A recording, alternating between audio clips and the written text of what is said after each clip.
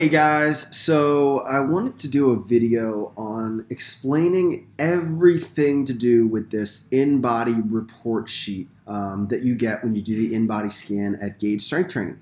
So um, I'm going to show you the most important things to focus on and really just a breakdown of what it all means. So when you do an InBody assessment with us, this is our full body composition analysis. First, we use the technology that is called the bioimpedance, where it sends three different frequencies into your body and it measures water weight, muscle mass, and body fat, which is really cool and really important. This is one of the most accurate ways to measure body composition using the imp- imp- bioimpedance technology. Okay, so when you look at the top, this top block basically breaks down your whole body weight into different areas. So this is Jane Doe. Um, she's 130 pounds. 48.1 pounds of her weight is body fat.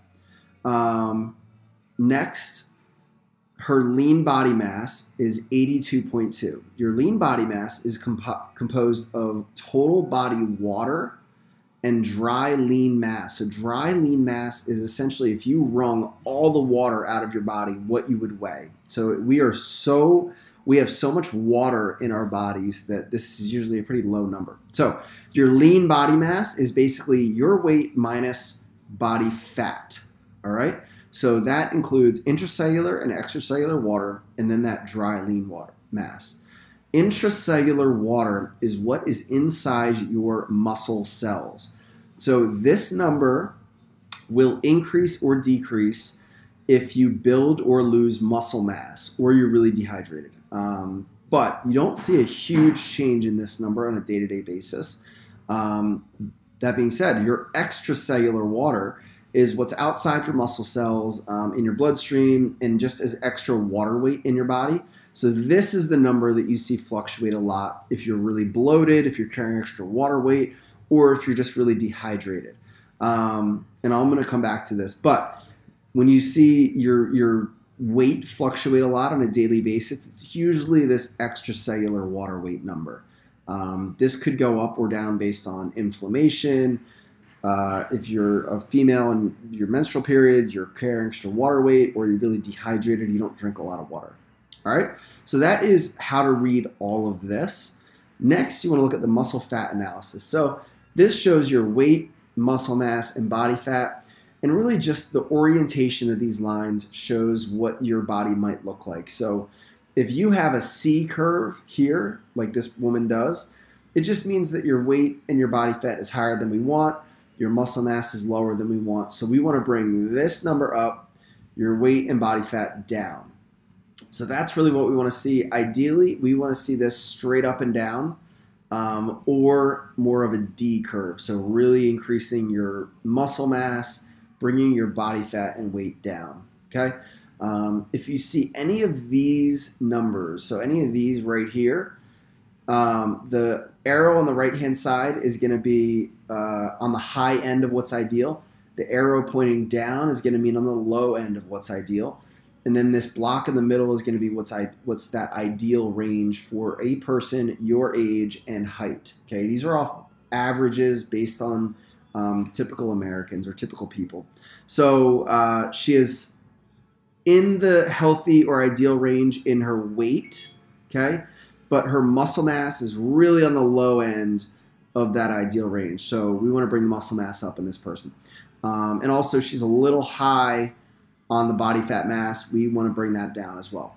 Okay, so then we have uh, your obesity analysis. So BMI, we do not focus on BMI. BMI is the body mass index. All that is is a height and weight ratio. So, what that means is if she lost 10 pounds of body fat but gained 10 pounds of muscle, she would look totally different. She would feel totally different, be so much healthier, um, but her BMI would not change. So, it's not really a great indicator of success we do look at percent body fat. So that is the percentage of your weight that is body fat. So basically, that is uh, 48, which is how many body pounds of body fat she has, is 37% of 130. All right. So when you lose weight, we need to make sure that it is purely body fat. Now, the way that works is if she lost five pounds of water, her body fat does not change, then her body fat percentage would go up because the her weight is lower and this number is the same, so the percentage is higher. All right, so that's why it's so important to track body fat percentage. So she's a little high for what we prefer. Okay, so we want to make sure that working with her, she gets into this gray range here, into that middle block, ideal range. Okay, um, so that's the importance of tracking percent body fat. This is one of the most important numbers on this sheet.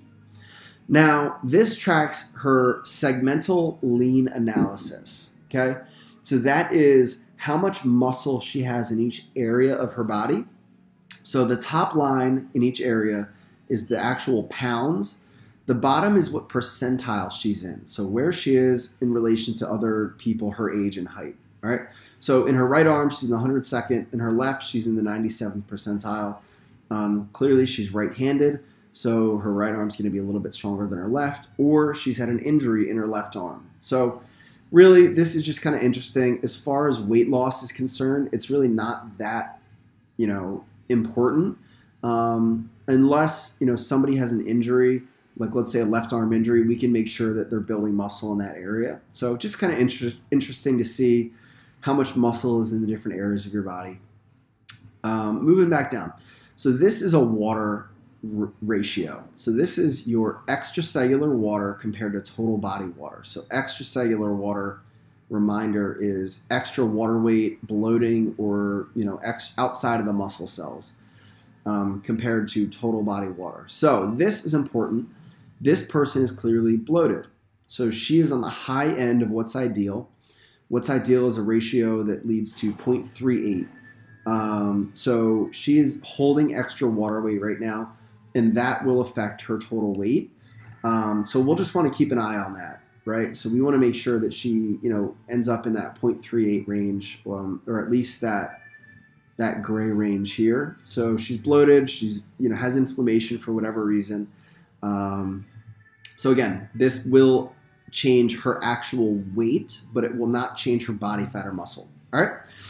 Next, um, this top block basically gives us a recommendation. So uh, it basically says if she lost 21.8 pounds of body fat, it would put her right into that healthy range, right smack dab in the middle of that body fat percentage range that we want.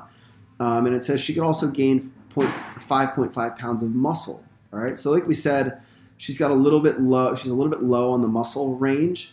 So if she gained five pounds of muscle, it would put her right in the smack dab in the middle of where we want her to. All right, so this will be a really important goal tracking for us. Um, ideally, we'll want to see this number decrease. Um, and this number, you know, all these numbers we want to see go down. That, that's how we know we're moving towards our goal. Okay, so we have fat analysis. So this is the opposite of the lean analysis. This shows you how much body fat is in the different areas of your body. So in right arm, left arm, trunk, right leg, left leg.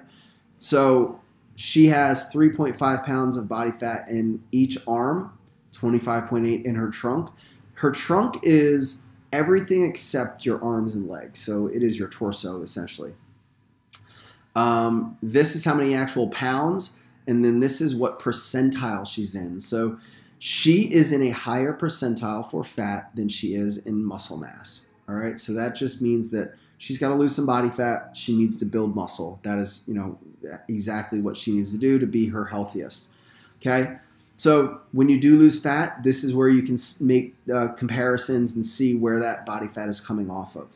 All right, your basal metabolic rate. So that is how many calories your body needs to function and be perfectly healthy. All right. So if you laid in bed all day based on your weight, your body fat mass, your muscle mass, that is how many calories your body needs to function normally. So that means your organs are working, your you know your heart beating is properly, your heart is beating properly, your lungs are working, everything in your body works fine.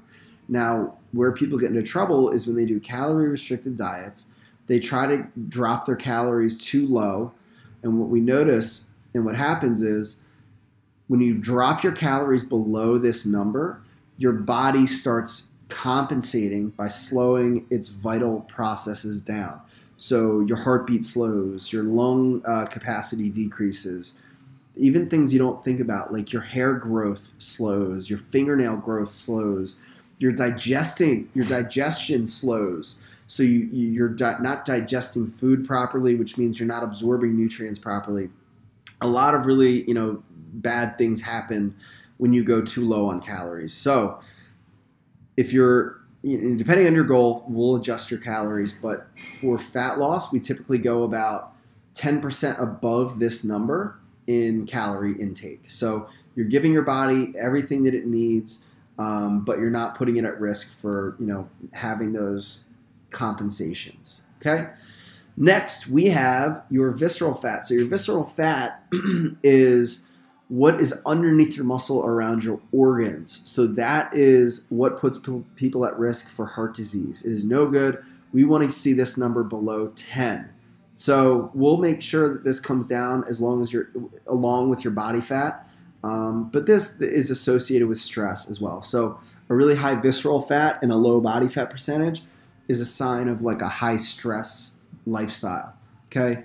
Um, so that is a rundown of what all of these numbers mean when we track your progress. Everybody's goals are different, but we want to basically always make sure that you're maintaining muscle mass, okay, and your percent body fat decreases, okay? Two big things that we usually see. Somebody may lose weight, but if they're losing muscle mass, that is no good. And we want to, so for example, um, we want to make sure that you're not losing muscle. So they lost some muscle mass here. When you're losing muscle mass, you're it's going to affect your body fat percentage. Okay, it's not going to bring your percentage down the way we want. So we want to make sure that muscle mass maintains, but percent body fat decreases. This is the most important number on this scan. Okay, your weight is not your indicator of success. This moving down is going to be the biggest indicator of your success here at Gage Strength Training. So I hope you guys got a great uh, understanding of what all of these things mean. Um, once you really kind of understand this stuff, it's a lot easier to make progress. If you have any questions, feel free to reach out at any time. I'm always around to answer your questions.